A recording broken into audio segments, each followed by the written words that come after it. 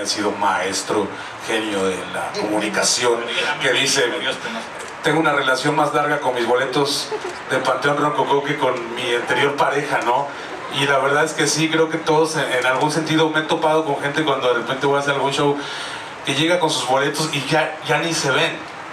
O sea, ya está ahorrado todo, o ya está súper gastado, o incluso avisarle a la gente, hey, vayan acordándose dónde guardaron los chingados boletos, porque capaz que llega el 10 y no te vas a acordar después de un año y cacho dónde los pusiste. Entonces, este, creemos que ha sido casi nula la, la, la digamos, el reembolso, este, sin duda, y eso tengo completamente seguridad de ello. Eh, nadie se quiere bajar de ese barco todo el mundo quiere estar ahí, creo que va a querer estar ahí, es el primer concierto, vamos a decirlo,